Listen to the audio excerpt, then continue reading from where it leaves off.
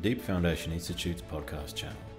In this series, Interview with a Survivor, our hosts, Lucky and Tim, will be discussing near misses, problem projects, and resolutions. In today's episode, David Wilshaw of Integrity Drilling and Geophysical Services will step us through what to expect during litigation from an expert witness's perspective. Proudly brought to you by our series sponsor, Peer Research, and today's episode sponsor, Universal. Welcome back to DFI's podcast, Broadcasting Common Ground. I'm Tim Siegel, and I'm here with my co host, Lucky Nagarajan. Hi, Lucky. Hey, Tim. Nice to be here again. Hey, great to be here too. This is the fifth episode in our series, Interview with a Survivor, where our guests share their experience when problems arise in their projects, which is certainly no stranger to those of us in geotechnical engineering. Today, our guest is David Wilshaw. David is the president of Integrity Drilling and Geophysical Services, LLC. He has worn many hats in the past. He's been a foundation engineer, a geologist, and a professor, and much more. If you have been listening to our previous podcast in this series, then you know that our discussions have mainly been firsthand accounts. Uh, and also, our last episode was an engineer who represented the owner of a project going through a problem. In this episode, we, we have a little more of a departure. David has agreed to share what it's like to be an expert witness an expert witness is often called when we start to have problems or conflicts in projects. In this regard, David has testified in about 40 trials and has given over 160 depositions. That is certainly a lot for the lifetime of an engineer. And um, before we go into uh, bringing on David, what I'd like to do is to ask Lucky to tell us more about David's background. Tim, David and I go long ways. in fact, he was my first boss in this country. Um, he has about 34 years of experience in many facets of engineering from UK to USA. He's known as the smartest engineer who is extremely patient, attention to detail, with a great sense of humor. You cannot deny that. Uh, many of us who have worked with him also know that we have never seen him lose his composure whatsoever. Also, this is something not many people know. He's a great cook and a blues guitarist. How cool, right? Um, I have to mention he's also an actor. Um, he's been on numerous discovery and science shows explaining sinkhole phenomenon. Um, now let's welcome David Wilshaw. Hi, David. Nice to see you. Hi, Lucky. Hi, Tim. How are we today? Great, David. Great to have you with us. Well, thanks for asking me. It's a pleasure. Well, hey, since we're we're kind of uh, we're obviously talking about you right now, so maybe uh, if you would, uh, for our listeners, share a little bit about your journey uh, as a engineer, and maybe and focus on some of your professional highlights. Absolutely. I mean, one thing about being a, an expert witness, you get used to talking about yourself. You you lose some of that. Uh, that, that sort of uh, shyness and self-deprecation that a lot of engineers have. Uh, but I, I grew up in, um, in, in, England, in a place called Stoke-on-Trent, which is a, a, coal mining community in the, in the north part of England. Father was a coal miner, grandfather was a coal miner, great grandfather was a coal miner. It's one of those, you know. Um, so I was exposed to geology at an early age uh, because my, my father was friends with the, the chief scientist at the local coal mine. So he often brought home fossils and things of that nature. So I, I got interested at kind of high school in, you know, being able to uh, uh, look at these fossils and come up with a, you know, a, a, story of where they come from. So I studied geology through my uh, junior and senior years at high school. Um, went on to university, University of London, where I, I read geology as my my uh, degree. So I got a bachelor's degree in geology. I spent two crazy years out in the North Sea in the, in the oil and gas business as a, as a mud logging geologist, uh, working on a, both exploration uh, rigs and on, uh, on production platforms, uh, being the, the, the person who's responsible for you know safety of the well and and deciding what we're drilling through things of that nature Now, I got uh, laid off in the oil industry. First time I've ever been laid off, and the only time so far, thankfully. Uh, I got laid off in in '86 when the the price of oil went from forty dollars a barrel to twenty dollars a barrel, and uh, many of us got laid off. So then I kind of re, re uh, retreaded, I guess, re uh, refocused on what I was doing. I'd done some engineering geology as part of my bachelor's degree. Uh, and I enjoyed it. You know, it was you know construction related. It was something you know you could see in construction around when I was at college in London. Lots of deep foundations going in, lots of uh, big construction projects underway. So I'd done some of that at, at, undergrad. So I went back to school, went and did a master's degree in foundation engineering. So I did a geotechnical master's degree. Uh, and then from then on, from 87, when I finished that master's degree, I, have worked as an engineering geologist. And um, uh, there are very few engineering geologists in Florida, it has to be said, but you know, elsewhere in the US and worldwide, it is, you know, it is a profession where a professionally trained geologist will work in the civil engineering, construction, and mining industries as a as a specialist in in the geotechnical aspects of geology, if you like. So, you know, I, am the sort of although I've got a funny accent, as you'll agree, uh, I do translate geology into engineering into engineering language to uh, to help uh, you know engineers to understand the the complexity and the, the history of the, the soils and rocks into which we you know we're, we're building foundations we're putting structures on we're, we're trying to retain we're, we're trying to uh, you know tame if you like. So so since then my background is in, in engineering geology. Um, i practiced in the uk until 2003 uh, we had a kind of a lifestyle change in 2003 my wife's a, an rn uh, she had worked in the US before we met. She had a hankering to come back. So uh, we had a, a, bottle of wine one night and ended up uh, applying for a job. Well, she applied for a job in California. So uh, before we knew it, we were living in Southern California. I was, I was being lowered down uh, two foot diameter boreholes to log the size of the borehole because that's what engineering geologists do in California, looking for, for landslips and things of that nature. Um, and with a little bit of homesickness, we kind of thought, do we go home, come back? And we ended up in Florida a year later. We did the one year contract in California, uh, got on Route 66 and drove across here to Florida where we'd been on vacation before. Uh, and I became one of the very few engineering geologists in Florida. Um, I worked as a geotechnical engineer, really, although I'm a, I'm a geologist by, by training and licensure. Um, but I worked within that, that realm. I was a geotechnical manager for Universal Engineering. I've worked in uh, obviously a lot of work on sinkholes, which is which is the biggest engineering geology problem we have here in Florida. So that's that's my kind of little story, my little long ride on an elevator speech, but there it is.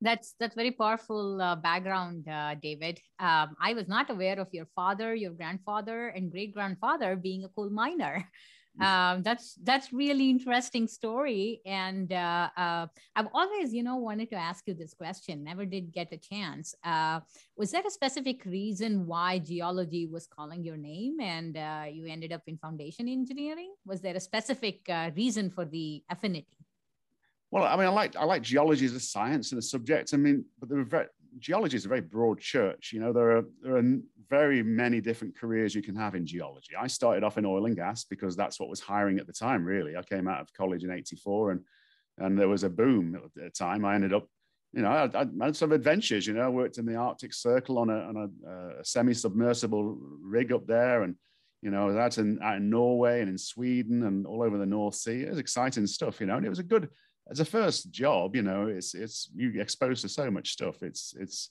you know, it's it's a great thing to do. But I didn't really see myself ending my career in oil and gas. It was just a, a job to get me, you know, out of college debt, you know, which it did quite well, thank you. so, uh, uh, but I, I, don't. Oh, I've always been a kind of a practical guy. I've always um, enjoyed applying science to to to you know day to day practice, if you like. So that's what engineering geology is. We we work on, you know, uh, we'll do the stability of the ground for a 7-Eleven. It doesn't need to be a huge structure, although I've, I've, worked on some pretty big projects like, you know, the Channel Tunnel and things like that, you know, so it, it doesn't have to be like that, but it can be stuff that you, you know, you can be a, a kind of a, a, working professional in your local community, adding value to that community as, a, as just a knowledgeable geologist rather than being, you know, a kind of a, a, a, an ivory towered professor who you know is only really applying research you know you're actually doing stuff which impacts people's lives so so I, that's how I got into engineering geology, is that kind of applied geology that's that, that serves the community and and and helps my fellow professionals.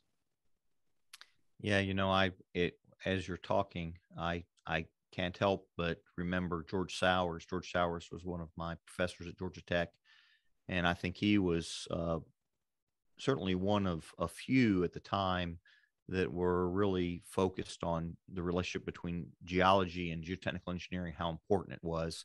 It wasn't just a, a sidestep, but it was really a, a focus, and uh, it, it, had a great impact on me.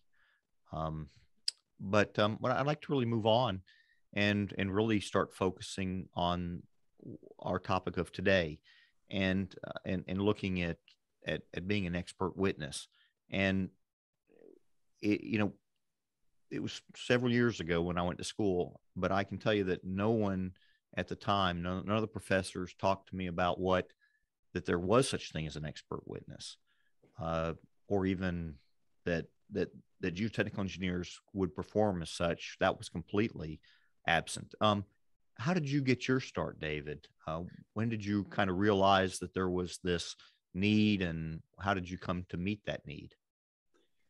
I think I started off just being as a, you know, as a, a professional that uh, looked at forensic problems. So I didn't really start off, you know, aiming to be an expert witness. I started looking at the, you know, uh, forensically at causes of ground failure. So my first um, probably experience of that was back in the early 1990s in the UK, where I think my first, uh, I was working for a, one of my mentors is a, a Dr. Dennis McNichol. He, he was my a, a, guy that took me under his wing and showed me how to approach a, a problem with a forensic approach. And it was the particular problem was a, a Victorian era rail tunnel uh, in the UK, uh, where it was being um, improved and the, the, the, the, they wanted to get larger trains through there basically. So they were taking the, bed, the bed of the, the, tunnel down and, you know, giving it more, more headroom for the, the trains.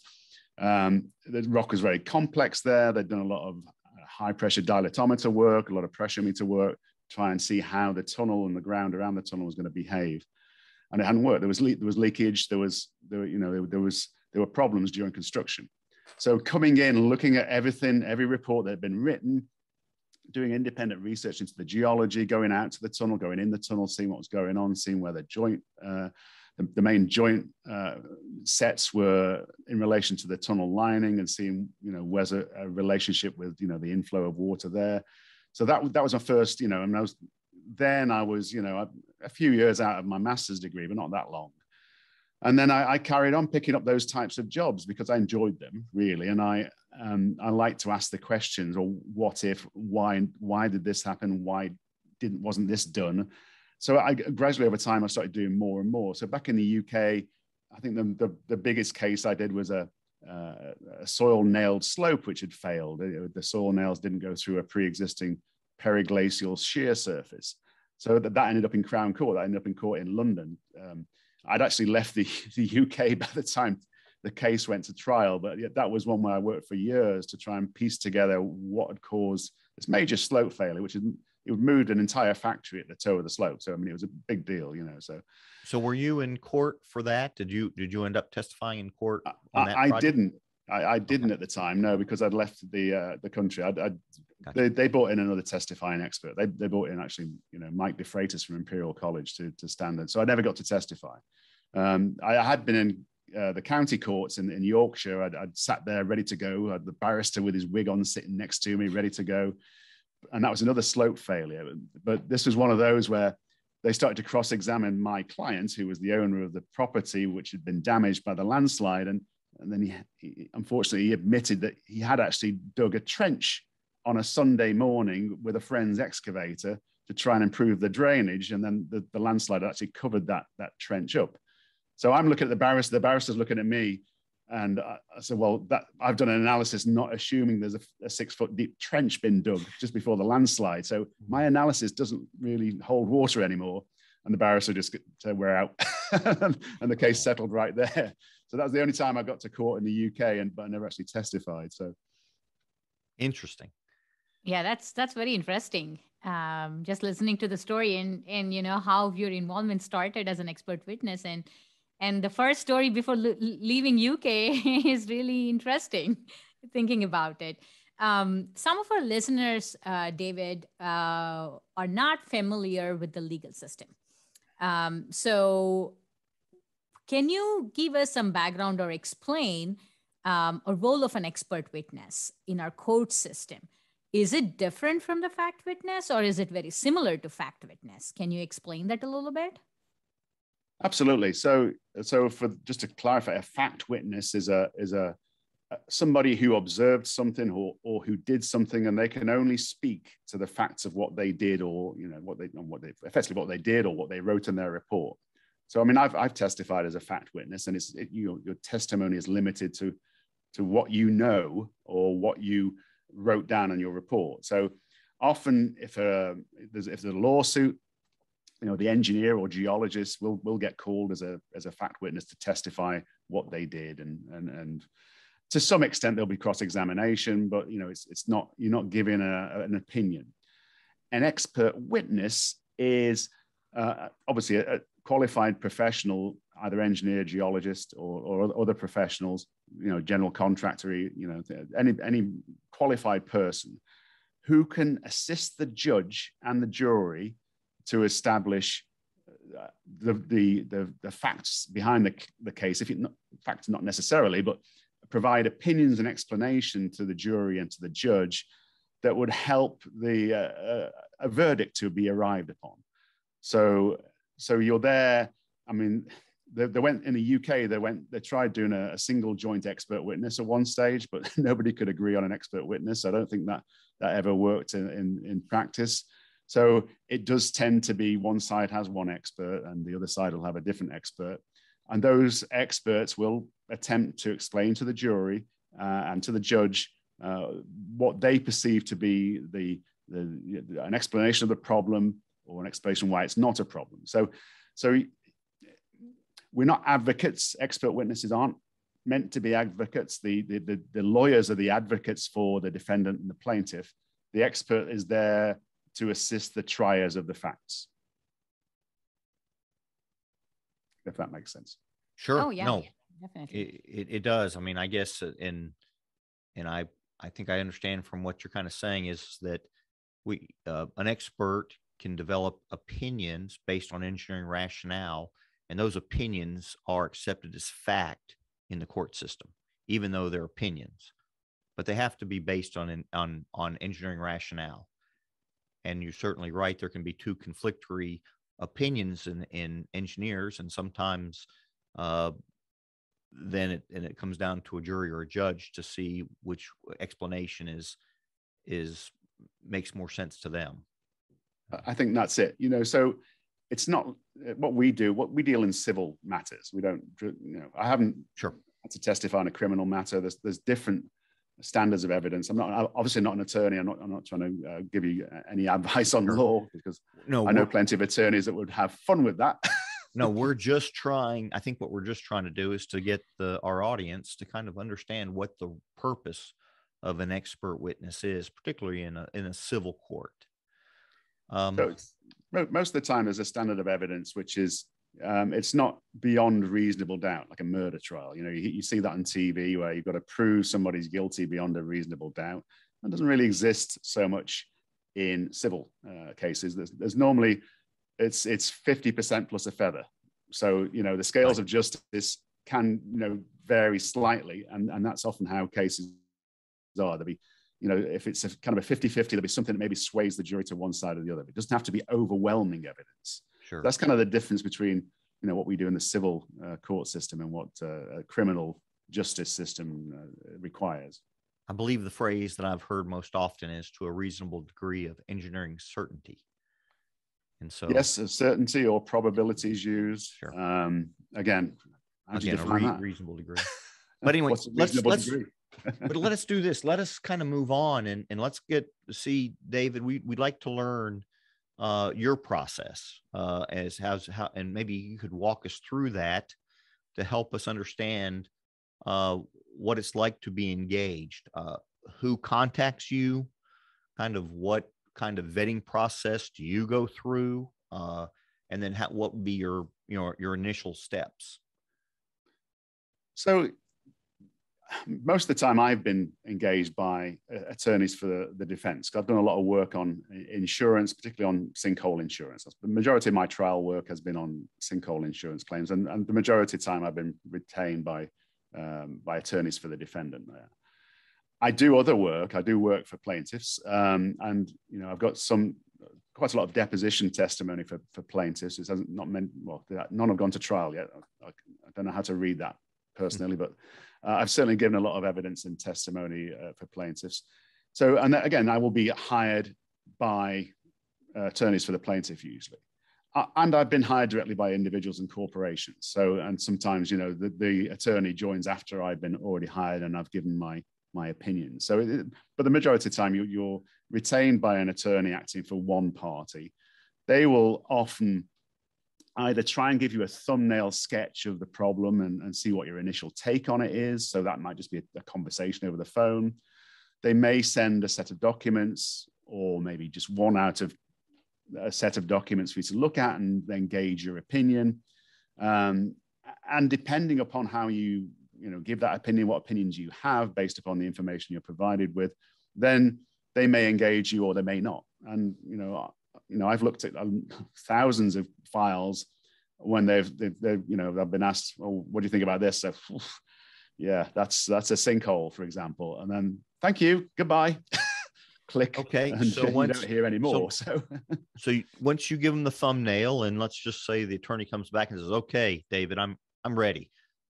Uh, we want to engage you. What's next? What should you? What are you prepared for?" So often I don't prepare a report, which is I, I, found surprising as I started doing this. I thought, well, they're going to want my detailed opinions in a report. It's going to be signed and sealed, and it's going to be submitted, and everybody's going to read it and realize what a clever chap I am. Um, but really, the, the attorneys don't like you to commit too much to to paper. Some do. Some have a preference; they'd rather have a report. Um, but really, you you give your opinions verbally the attorney may take those opinions and put them into um, a, a, document which will be submitted to the court. Mr. Wilshaw will say this, that, and the other, uh, and you don't actually write it yourself. It's written for you by an attorney. Um, depending on the complexity of the case, I mean, you know, we could go visit the site, we could go look at the problem and get, you know, eyes and eyes and feet on it and, and see what's going on. Uh, we might pull uh, soil samples that have been collected for a, a project and, and, take a look at those and cross check those against the descriptions, because that can be often a stumbling block where you make an assumption that something's a clayey sand, but in fact it's a fat clay, and that completely changes your opinion. So, um, you know, assumptions can be dangerous. So often we'll, we'll look at the, the soil samples and just check the, uh, what's there you know, sometimes we'll get the entire file from an engineering company that's a, a, party to the lawsuit, and we'll go through every note and every email. We'll particularly go through the field logs taken by uh, hopefully an engineer that's supervising the driller, but often just the driller writing down the, the blow counts. Uh, make sure that everything that's in the field notes get makes it to the report. So do that kind of due diligence element of it, so that you know we we don't want to find out, and it's happened to me. We don't want to be in the courtroom in front of the jury when the, the other side has an aha moment and uh, pulls out. Well, do you realize, Mr. Wilshaw, that the the blow counts recorded in the report don't match what the driller wrote down during the site investigation? And then you're lost. You know, you, are basically done. Uh, collect your things and, and leave. It's one of those. So that's kind of a you know they're all every case is different, but you know often it's a review of uh, published uh, reports, review of kind of what's available to all sides, and then looking to, to see if there are any skeletons in the cupboard or uh, and, and, and make sure that what you're going to put your opinion, your professional opinion is going to go down. It's going to be on the record. It's going to be transcribed in court. Uh, and you know, if you if you don't take the time to check on a few of the basic facts, then you're going to you're going to be a foolish looking expert witness yeah that's that that's definitely is not where you want to be for sure. After accepting to be the expert witness going through everything and then starting your um, engagement like i don't think so. Um, i want to learn a little bit about depositions. Uh, david uh, what is the real purpose of depositions? Why is it so important So for those that don't know, a deposition is, is testimony under oath. So um, these Zoom days, we, I've been doing them over Zoom for the last couple of years, obviously, but uh, usually you go to a court reporter's office or to an attorney's office. There'll be a, a court reporter there who will transcribe every word that's said, every mm, every aha, um, they all get written down. So you've got to try and, particularly me, I often do it, um, and they'll do it. Everything is transcribed, everything's taken down. Uh, you will be sworn in, so you're under oath. You're under oath to tell the truth. And you will be asked a series of questions by the, the adverse adversary attorney, the opposing attorney, I guess that's the best way to put it. So they will establish whether you are qualified to be an expert. They will ask a number of searching questions about your background. You know, they'll, they'll ask you about your criminal background, any any convictions, any any complaints against your license.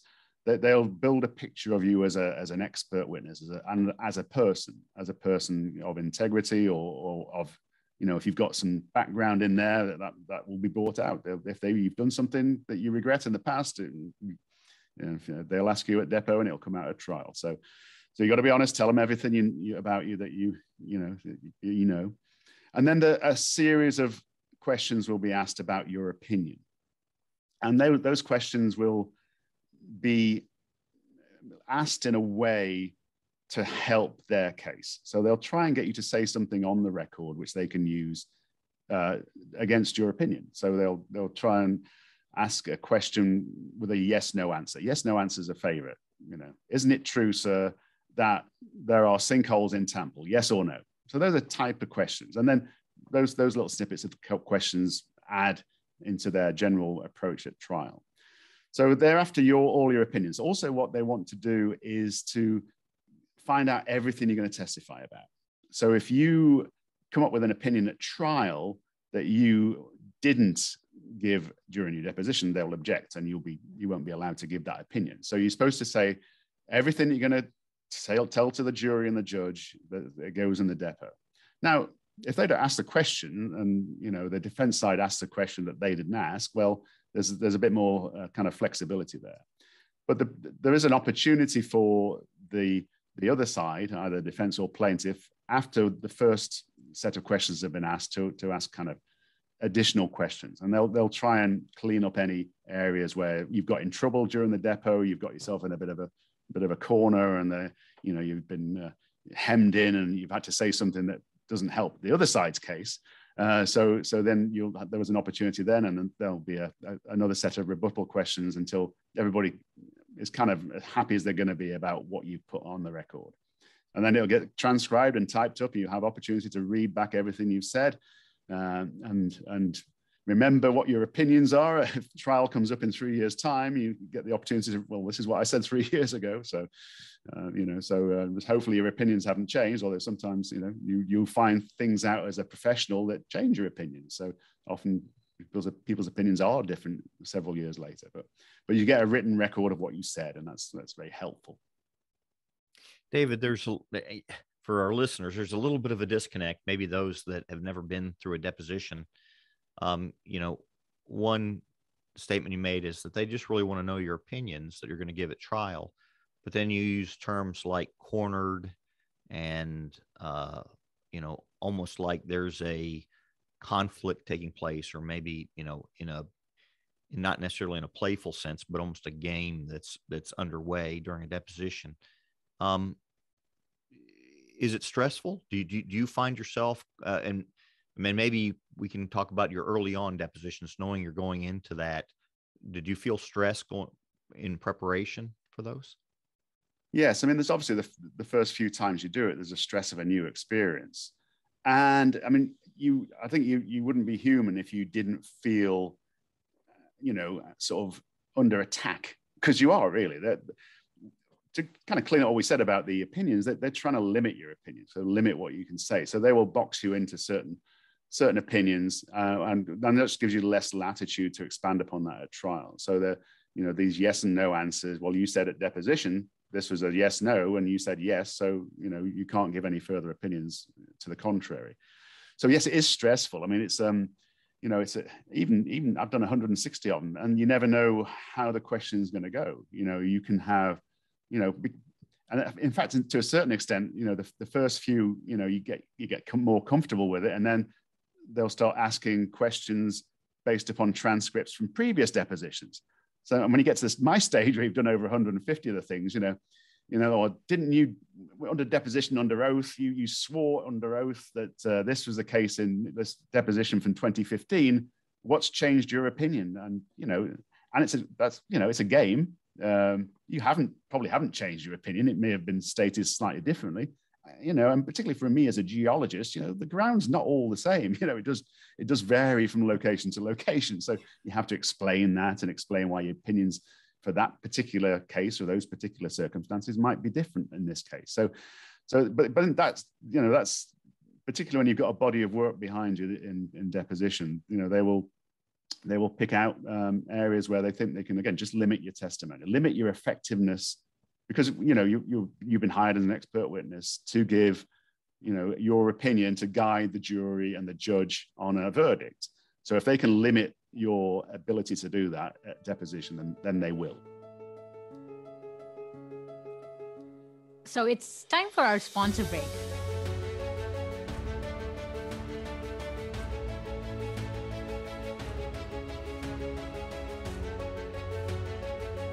say thank you to our uh, sponsor, Universal Engineering Sciences, uh, you know, for this episode. Um, also, we have uh, Ricardo Kirikidis. Um, he's from Universal Engineering Sciences, and uh, Ricky and I go way back too. Uh, for both of us, David were, was our first boss in this country, uh, right, Ricky? Um, and uh, I think Ricky and I both uh, have great memories of dabbling into world of foundations uh, together, starting our career together. Um, so Ricky has uh, about two decades of experience covering all areas of geotechnical engineering. So 400 design projects over uh, 2,500 forensic exploration projects and 500 subsurface remediation projects throughout Florida under his belt. Uh, I'm sure counting is still on. Um, hey, Ricky, nice to see you. Thank you and UES. Hey, Loki, how you doing? Good to see you again. And Tim, nice to meet you. And David, of course, always good to see you. Um, you bet, Ricky. Now, you know, I've, I've been listening to to what Dave's been explaining. It's pretty interesting. Um, and I got a couple of, of I guess, follow up questions on some of the topics that he mentioned that some of the viewers or, or the listeners may like to to know a bit more. Um, one of them that's always you know comes to mind is that most people the the only I guess exposure to to our legal system it's from TV. It's what people see on TV, what they see on the TV shows, and and you know, kind of like on your take, you've got a lot of experience. What's what's the difference that you see from you know the the theatrics of TV and and what you see in real life? Hey, Ricky. Yeah, great question. So I mean, theatrics is the best word to use because um, it is it can be the theater of the absurd sometimes in court, but it's a again, it's you're trying to engage a jury of, of in civil trials. It's you know six or well, six people plus a spare. You have a, a, a, spare in case somebody gets sick. So there's seven people in the in the jury. So often the the, um, the there is theatrics involved. There are there is you know certain uh, attorneys from both defense and plaintiff side will you know, we'll we'll try to make it entertaining for the jury. Let's be fair. Uh, but it's not it's not quite as entertaining as a TV show because it goes on. I mean, my my testimony typically I'm I'm in and out, you know, in an hour and a half, two hours. So it's it's not, um, but it's still quite a long time for the jury to listen to a, an old English guy talking about rocks, you know. So it's still you still got to keep them engaged.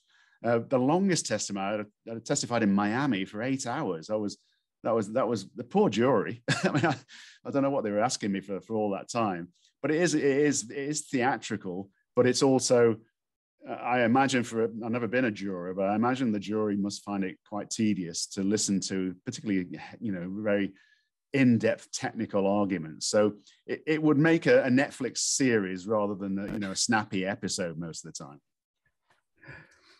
No, and and you know, to that same effect, something that Tim mentioned too was that you know how that it's stressful for anybody to go in.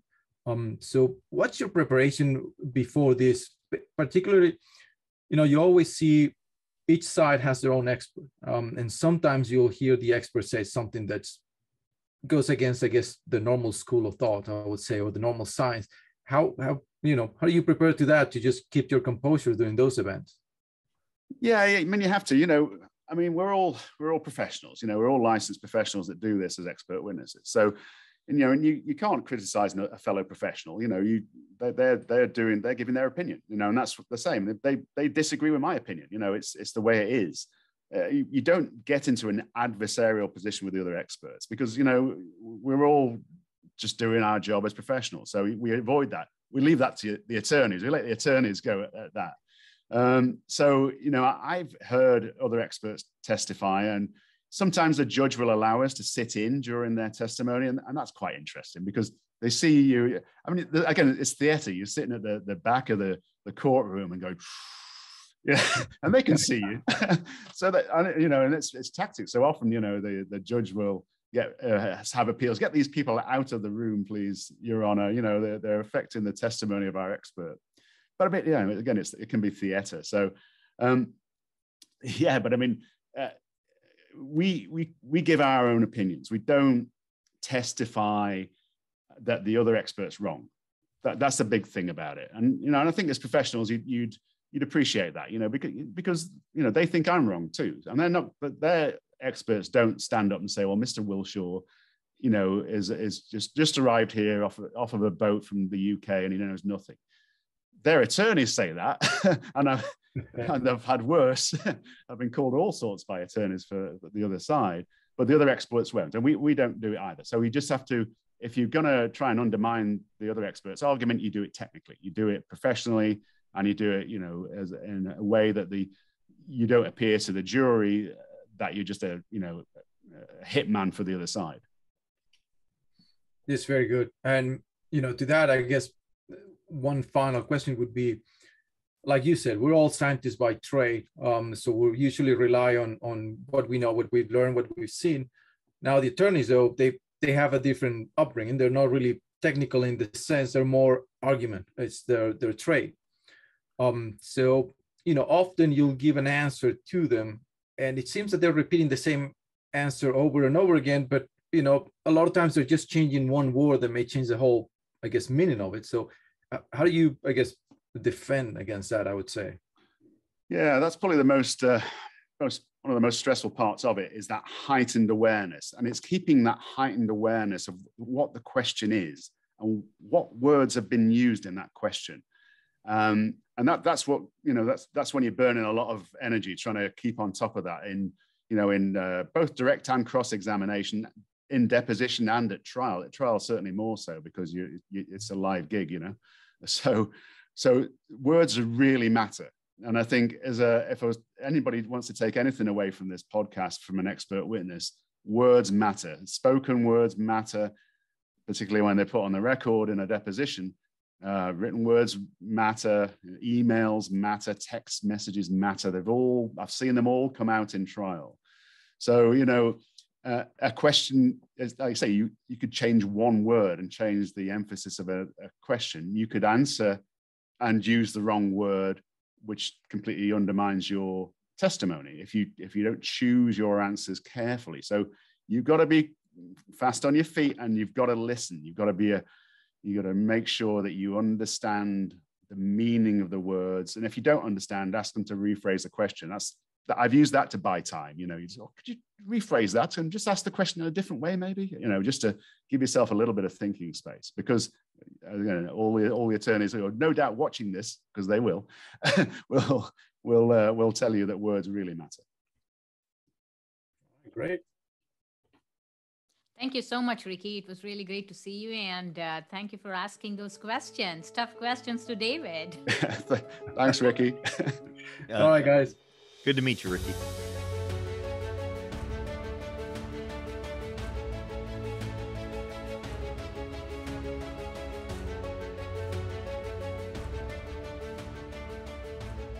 Okay, so we're coming back from our break with our sponsor, Universal Engineering.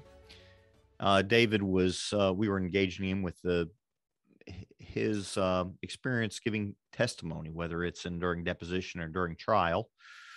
Um, you know, and we talked about the opposing expert as well. And uh, those of us that have been around the industry a few years, uh, you know, this term comes out the hired gun.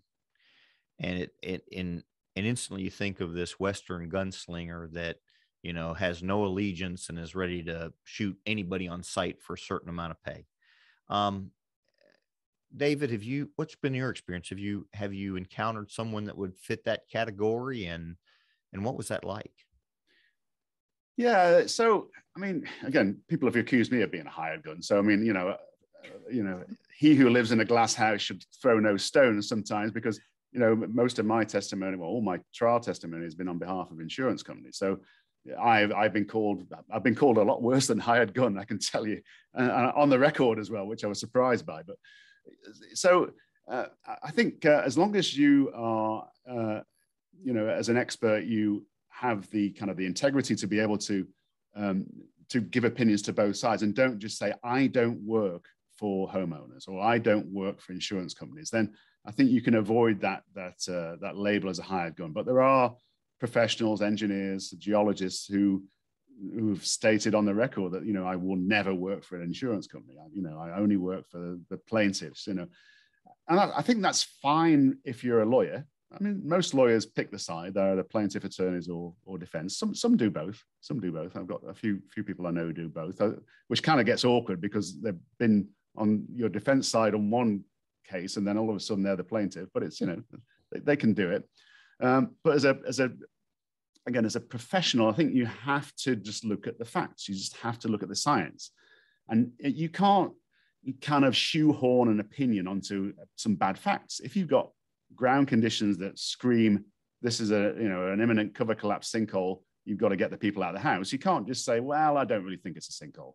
Because I mean, you know, you you might, you're a professional, you've got license, you know, you might you know cause damage. You might harm somebody by having that opinion. So you really just got to and i think anyway if somebody comes to you with a you know a set of facts you make your own opinion. Um, and they can call me a hired gun or worse which they have but really if you look at the body of work i've done i've said i've disagreed with my potential client many many times and i've never they're, they're not the cases you do depositions and trials on because you you come up with an opinion which is contrary or opposite to what they, they want to hear. So so I think you know it, it's. Um, I mean, in trial, um, you know, it can get a little bit kind of outlandish what people will say, and which I I don't do. You know, I try and you know, which is why I've done lots of them. Really, is I I you know I've not been kind of impeached. There's a term we could talk about. I've not been prevented from testifying because of, of some outlandish thing I've said in a, another case. So, um, so you know, it's a if, if you do start saying fairly outlandish things just to try and win the case for your client, then you know you don't tend to do many more trials because you become you know and what's known as an impeachable expert witness. David, if if you, I remember us when we started working together, uh, working on so many sinkhole projects around uh, uh, Central Florida.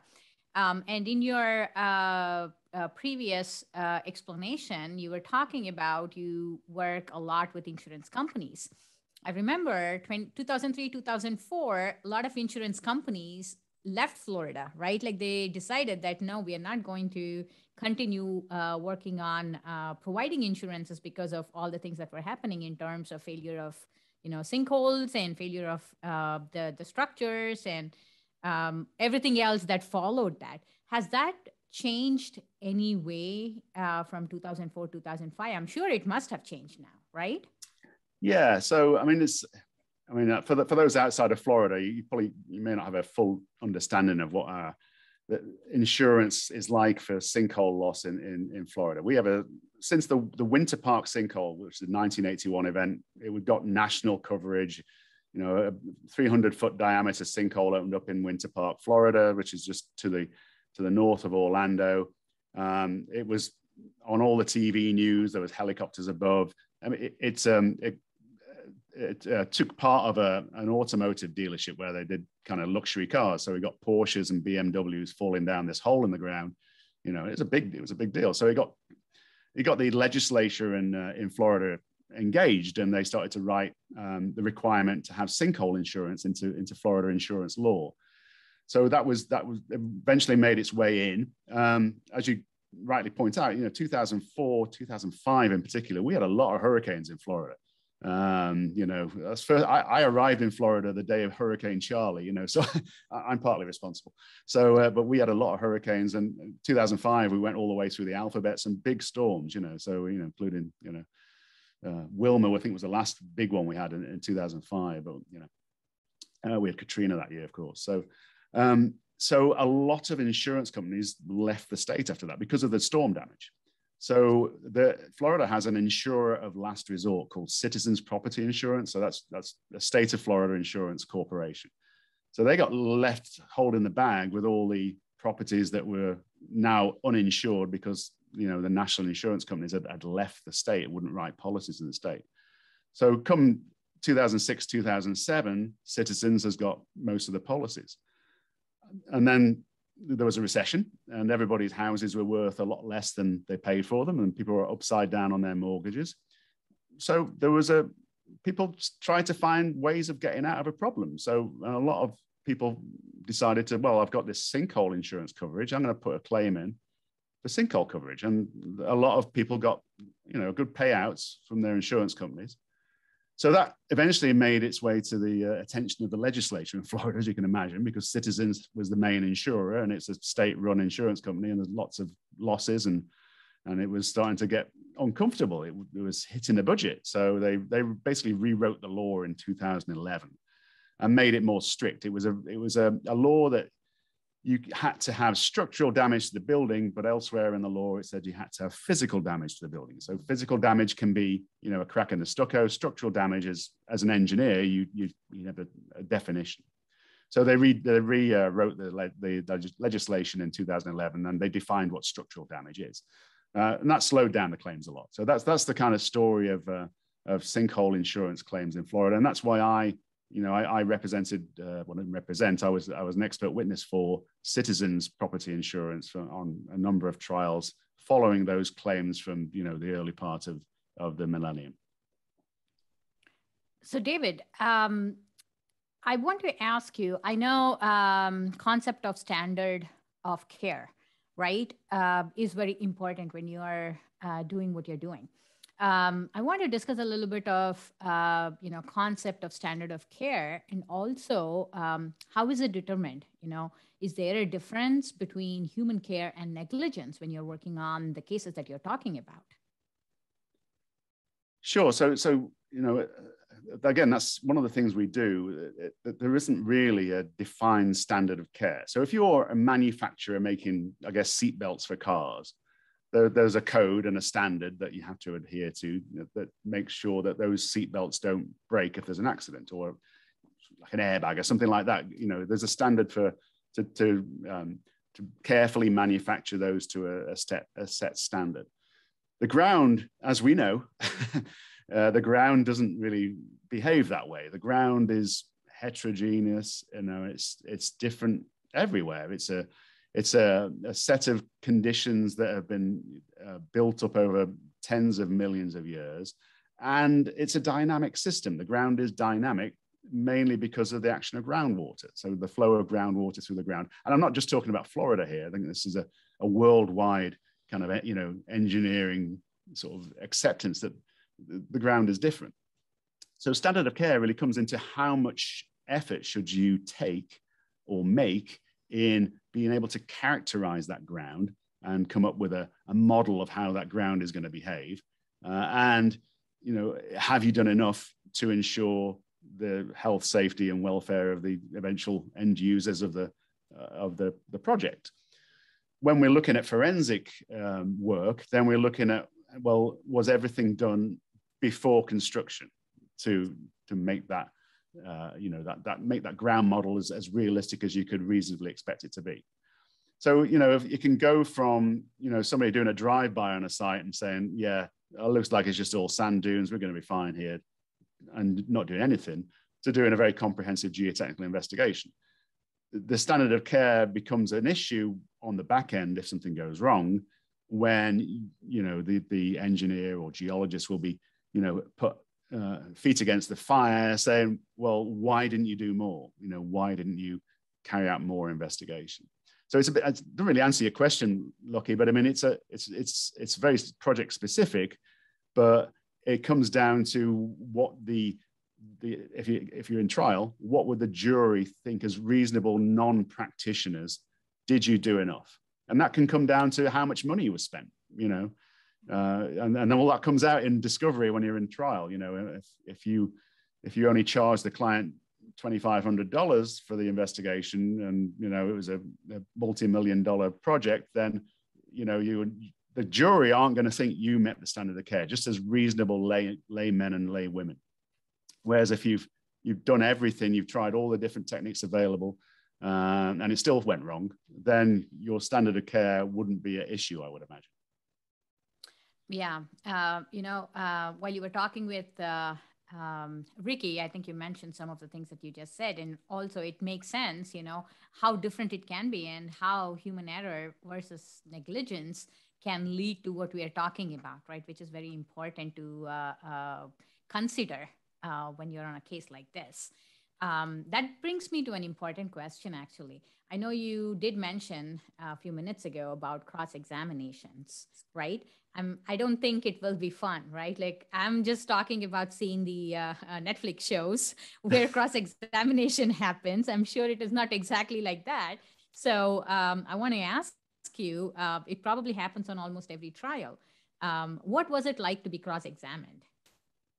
So, so it's a again, it's a you're in trial as an expert, uh, as any witness probably, but you, so you, the, the person that's called you as the expert goes first, usually, although it doesn't always happen, but usually the person that's, this is my expert geologist, Mr. Wilshaw, he's going to tell you what a, what a clever chap he is and he's going to explain the problem at hand and, you know, you're going to agree with him, aren't you, members of the jury?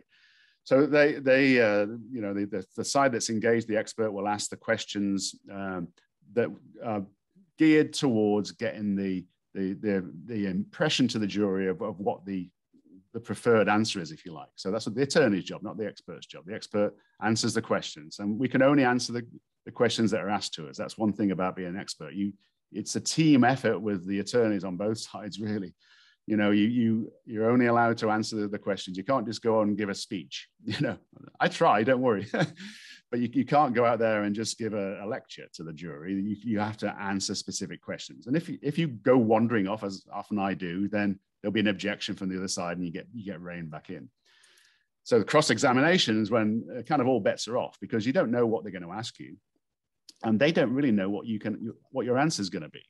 So as i talked earlier about a deposition the the the opposing party will try and limit your uh, testimony to the jury. They're going to try and limit what you can say to convince that jury that you know that you're on the right side of the case here in cross-examination, there's no such restrictions. So um, the, the, opposing attorney has to be pretty careful not to ask you a question that you're just going to riff on and come up with some great theories that are going to help your case. So, so the questions tend to be, you know, fairly, um, you know, they're, they're, trying to undermine you as an expert. Really, they're not really interested in your opinions sometimes. You know, although if they there's something they really want to kind of, you know, beat down on, they, they will but they will they will try and find areas where you know they can just undermine your credibility as a witness. That's that's the purpose of cross examination. So it'll be, you know, Mr. Wilshaw, you you've never taken a class in geology, have you, in in Florida? So no. So, you know, I'd answer, you know, well, I, I taught a class on the geology of Florida at Valencia College, you know, but I hadn't sat a class in geology. You're right. I, had, I didn't go to school here, you know. So that's the type of thing. They'll just try and take away, you know, they'll just, they'll just uh, paint, paint you as a hired gun. They'll go through They'll go through uh, all of the invoicing that you've done for that particular client, you know, and, and they'll paint you as a as somebody who does it for money, you know. So they'll they'll bring out all your 1099s and they'll they'll put all that in evidence. So they just undermine your credibility. So that's that's when you've got to just stick by your guns, keep your technical opinions, you know, you know, keep your keep your integrity in, in terms of your technical opinions, and just don't rise to it because you know it's just gonna if you lose your temper and you start to argue back with them, they love that. You know, if you start to argue back, it just makes you look like, yeah, they're right. This attorney's got this guy. You know, he's yeah, look at him, he's cracking, he's crumbling under it. You know, so you just gotta, you know, keep that even temper. Thank you, David. That was excellent. Um, so we have been talking to David, and he's been sharing with us his uh, expertise. We've learned that um, his background's in in geology as well as engineering, and he is uh, geology is a key part of his background and a key part of his his profession now and his his service as an expert in the court system. Um, David explained to us that the uh, role of an expert is to provide engineering opinions to the court based on engineering rationale, and those opinions are accepted as fact. We realize that there are usually two sides, uh, and while they're not advocates of, and they're not to be served as, serve as advocates, they tend to have conclusions that are favorable as they are assigned uh, to that side. Uh, he shared with us some differences between um, negligence and human error, and uh, focusing on really just saying that, uh, for example, if you do a thorough geotechnical exploration as as your uh, someone else would, someone competent in your area and at your time would do that, uh, that would seem to indicate that you met the standard of care, even though there is still, still some room with human error in the variability of the subsurface conditions. And that's kind of inherent in our, our practice. Um, he also shared with us just that during a deposition and in trial, uh, the opposing attorney has a, a vested interest, and, and, he is going to be a, an advocate for his client, and he's got a vested interest in trying to impeach us or, or impeach the uh, expert witness and try to uh, get it so that their opinions are are removed from consideration by the court system. David, I want to I want to say how much I appreciate you being willing to uh, being deposed by me and uh, Lucky today. no, thank you, David. Thank you for sharing your adventure. Uh, you know, as an expert witness, I I, I always uh, stalk you on uh, LinkedIn, and I've seen so many posts, and it was really great to hear some of the stories. You know, um, also I'm I can say that it's not everyone's cup of tea for sure. so um, I want to ask you one last thing. Uh, what is most important uh, to you as a successful inspiring engineer and also as an expert witness? So um, I, I, think that uh, often uh, engineers and geologists are like, I'll, I'll, I'll, lump us all together. We don't appreciate how good we are, you know. Um, it's only when you are, you know, you, you, you, if you put yourself forward as an expert and somebody asks you, well, what are your qualifications? What qualifies you to do this? and we're you know we're not very good sometimes at, at promoting ourselves and i think you know we, we're great at what we do we are we have such a specialty knowledge that most i mean again uh, try and explain this to you know six members of the jury who made it through kind of jury selection they won't have any background in engineering they you know they may have know a little bit about building they won't know anything about geology most of the time except that you know they made a volcano in fifth grade. Uh, so you know it's you've got to as a as a professional we're really good but we have to um, engage people who don't have all the years of experience and training that we have. Uh, and i think this this is, transcends just expert witness work. I think you're going to have you know owners and clients who don't know what you're talking about we can talk in jar- jargon about spts and cpts and small strain stiffness of soils it's just white noise so i think we're, we're, we're good at what we do. Uh, we can be better communicators, I think, sometimes. And I think communication, you know, not just about, you know, the budget and, and everything else, but the actual why we're doing what we're doing. Why are we drilling holes into the ground? You know, I'm, you know, I'm never going to see the benefit of these holes. We've got to be better at communicating that. So, and I think my, as my expert witness role, you know, having to an hour and a half maybe to convince six people that not only am I, you know, the cleverest guy in the room, but you know, this is what's happening underground. And let me tell you the geologic history of the last 35 million years in the next 10 minutes. But so that so communications is the skill really. Um, and you know, if we can do that as a as a profession, I think you know we we continue to be brilliant people. Um, we just got to tell everybody how brilliant we are.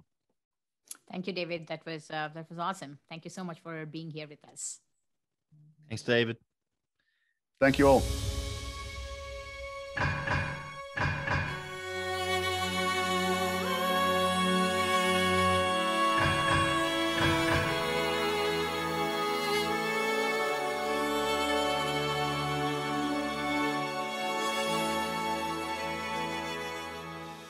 Behalf of DFI, we hope you enjoyed this episode.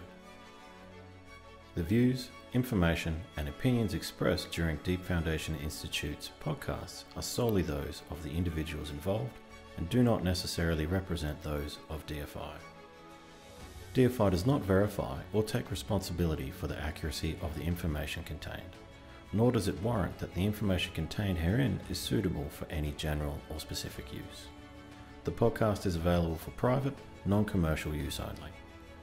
Editing, modification, or redistribution of this podcast is prohibited. Proudly brought to you by our series sponsor, Peer Research, and today's episode sponsor, Universal.